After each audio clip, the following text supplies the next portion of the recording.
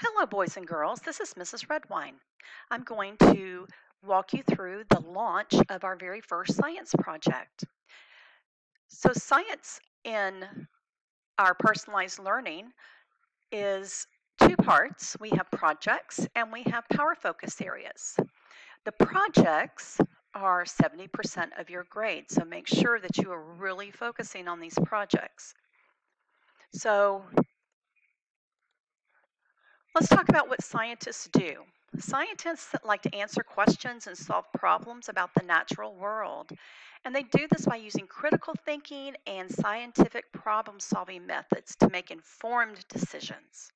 So they're kind of like mathematicians. They both like to answer questions and solve problems, just kind of about different things. And a lot of times the two over, uh, overlap. Okay, I want you, we're going to watch a video uh, by the Mythbusters. Um, and the video is to see how a team sets up a test to find the answer to the question. And the question they have is spider silk stronger than steel?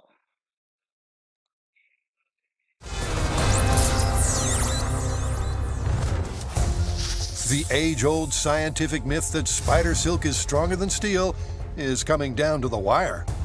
In their initial small-scale test, 500 strands of spider silk proved to be twice as strong as its steel equivalent. And now the Mythbusters are ready to take this test to an unprecedented scale. There we go. To test the strength of a 28-gauge steel wire to its matching equivalent in density, a whopping 25,000 strands of spider silk collected from 42 spiders over the course of five weeks. This is quite possibly the largest amount of spider silk that's ever been brought to bear on a test like the one we're about to do, to compare this to the strength of steel of the same mass. Why go to this length? It's a great question. The fact is, is when you're testing stuff in scale, as long as you iterate, you can come to some good conclusions, but the best way to get great results is to experiment in the largest scale you can, hence this monster. And for this final Silk versus Steel smackdown, the team has adapted the test rig with a clever addition. With our new rig here, we'll be conducting two different experiments. The first with our length of steel twine here, with our water being released in a controlled manner down to this bottom tank here, and it will weigh down that cable until hopefully it'll sever and we'll be able to see how much weight in water is causing that thing to snap. If the results of the previous test hold true, I'm pretty sure that spider silk is gonna kick Steel's butt. Cue the butt-kicking attempt. The 28-gauge wire's up first. Steel wire test in three, two, one. They've traded out washers and paper clips for over 40 pounds of water. It's so amazing. So quiet. Gravity does its job, and as the water trickles into the lower bucket, the steel wire starts to suffer from some serious water weight gain. It's Oh, wow, look at that. It's really moving. It's stretching. It's visibly moving. That is crazy. I heard a noise. Oh, oh. That was Cool. fantastic. That couldn't be a better result. All right, let's weigh this puppy. 12.5 pounds, Cannon. That's a result. Let's set up for spider silk. Definitely. 25,000 strands, to be exact. There we go. It's a nice yellow color. I'm gonna let it take on the weight. Ah. This is the most amount of spider silk that's been tested in this kind of test, maybe ever. Nine and a half miles of silk right there. That's crazy. Nine and a half miles! That's insane! You guys are ready? Totally. Yep. 25,000 strands of spider silk in three, two, one. Releasing the water? Cord by cord. It's now stretched about a full inch. the 25,000 strands of silk bears the load. Okay, we've passed the weight of the steel. Whoa. So, The silk has surpassed the steel's holding power. We're coming up on double. But the strain of the weight is taking its toll. What was that? that was it. Side snapped. Whoa!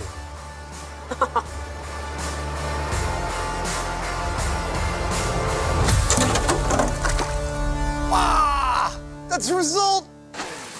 Oh man, that was cool. That was fantastic.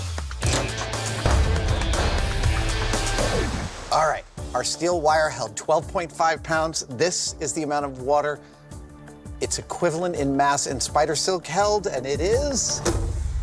Cue the drum roll. 26. 26 pounds! That is so cool. Aren't you excited? Yep. Here, give me a high five. We are so psyched. Can you tell? Just as it did in the previous density equivalency test, the spider silk proved to be a little more than twice as strong as the steel. Two head-to-head density tests, two almost identical results. A satisfying conclusion for this classic scientific myth. This is definitely one of my favorite stories this season. No fire, no bombast, just nine and a half miles of spider silk and a set of really elegant methodologies for testing its strength. And uh, you can picture in your head what a fine steel wire feels like, like jeweler's wire. You can feel that. Okay, now I want you to hold that in your head and watch this. This is this is so gossamer, it is barely even there. And the idea that it held twice as much weight as the steel wire, mind blowing. All right, Mythbusters, it's time to call this one. From a mass perspective, in a tensile strength test, is it true that spider silk is stronger than steel? How do you find? Well, I mean, it tested twice as strong consistently. So I would say confirmed. Confirmed. Confirmed. Confirmed it is. All right, thank you, spiders. Thank you, Spider. No spiders were harmed during the filming of this episode.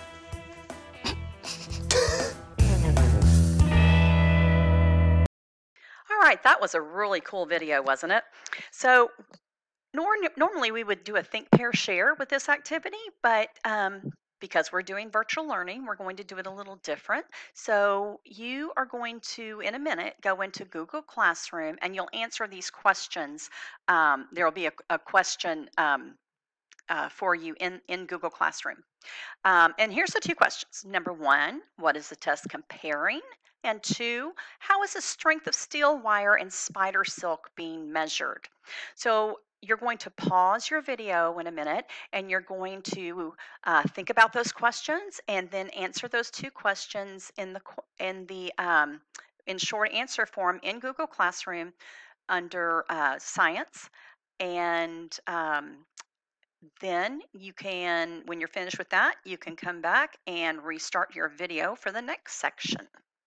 Okay, so now that you're finished with that in Google Classroom, we will move on and let's look at some of the answers um, that you, these are some answers you might have come up with. So number one, what is the test comparing? It was comparing the strength of a 20H gauge steel wire to the strength of spider silk. And that matches the density of the steel wire. They compared that. And then steel wire versus 25,000 strands of spider silk. And then number two, how is the strength being measured?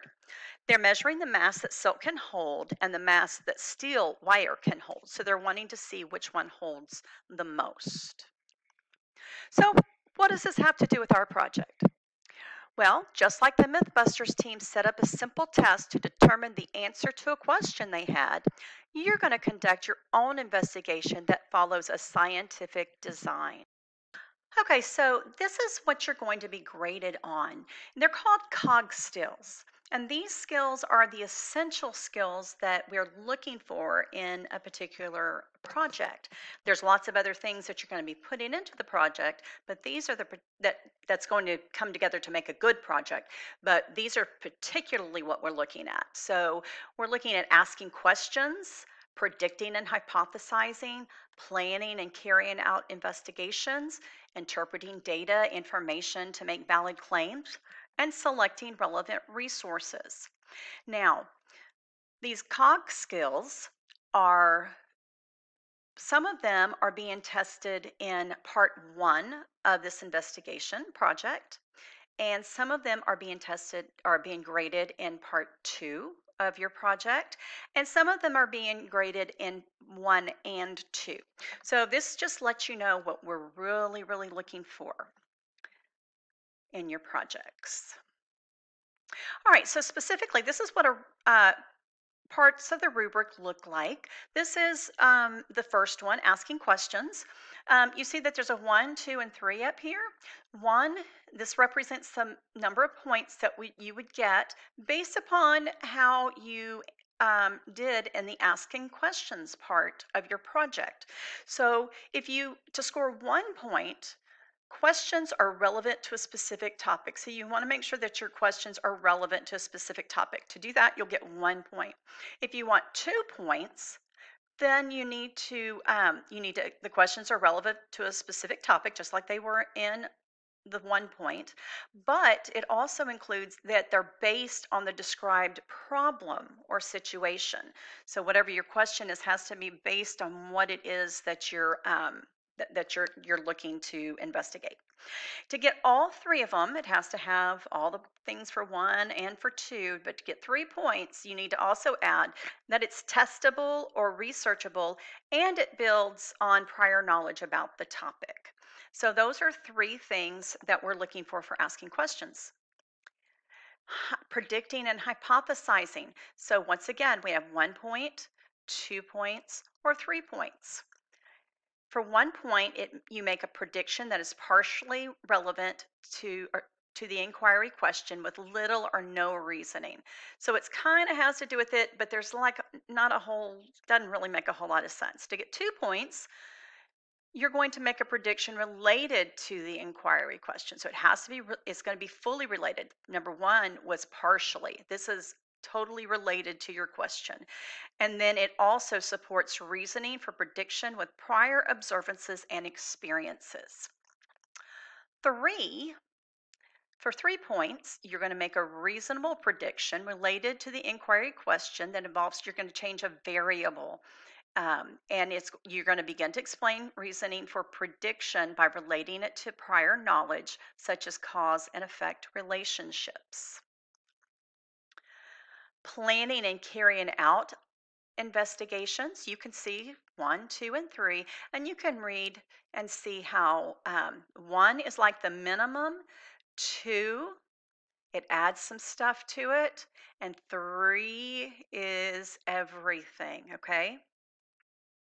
Same here. You can read that part on your own so you can pause in between each of these and really look at what we're looking for. And then the last one is selecting relevant sources. So for selecting relevant sources, we want to not really do the first part. That doesn't really um, apply to science. So this is a cog skill that you might find in reading as well. So you might find it in reading and you might find it in science or writing or history or whatever. But so you, I'm sorry, you will not find it in science. The bottom part is, um, is relevant to what we do in science, saying that we accurately describe key organizing features and sections in a nonfiction text, and you're able to analyze in detail um, the specific paragraph and, or specific sentence supports uh, the understanding of a key concept. So you're able to analyze it and how it um, how it uh, impacts your key concept. What, why is it important to that? So that's for one point. For two, it's you're going to select information relevant to the resource research question. That's the important part right there. And you're going to do it from um, just some different kind of sources that are listed here. To get all three points, you need to select sources that provide key evidence relative to the research question. So you have to have um, really important evidence that um, is relevant to your, your question, the thing that you're asking. And then when it's relevant, the sources are going to vary in format. So we're going to want um, we're going to want some um, websites. We're going to want books. We're going to want um, encyclopedias. Now back to the books. The books and the encyclopedias both, you can access those online because you're not right now going to be able to access those from our actual library. Um, you can do interviews. That's another really great way to get your, your thing. So that's the end um, of what I have to say today. And you hear my lovely dog barking, means somebody's probably home. But anyway, I'm going to let you go. Um, and um, we'll have we'll start um, the actual First checkpoint tomorrow.